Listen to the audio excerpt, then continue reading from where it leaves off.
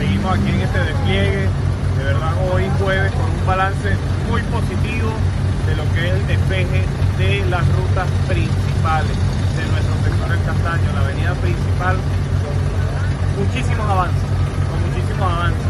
Y además en la parte interna de la urbanización, nos encontramos aquí con el ingeniero Saúl, con la licenciada María José Rojas y el equipo, con un solo gobierno, gobierno nacional, gobierno regional y gobierno municipal, bueno, siguiendo instrucciones de nuestro presidente Nicolás Maduro Moro y nuestra gobernadora Karina Carpio, nuestra autoridad única, nuestro general Febre, que está colaborando, colaborando, se empoderó del castaño.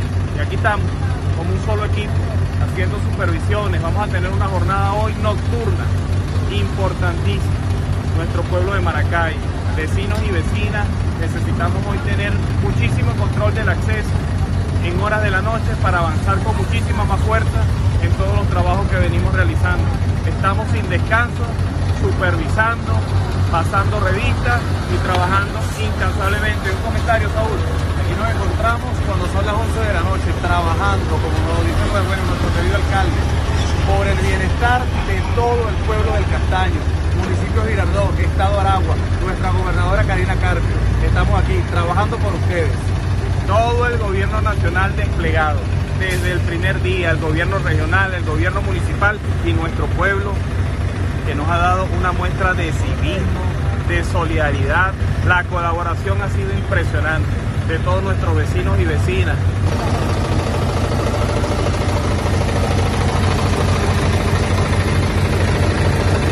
Y aquí seguimos, aquí seguimos, aquí seguimos. Vamos a ver varios puntos, varios puntos de nuestras zonas de afectación.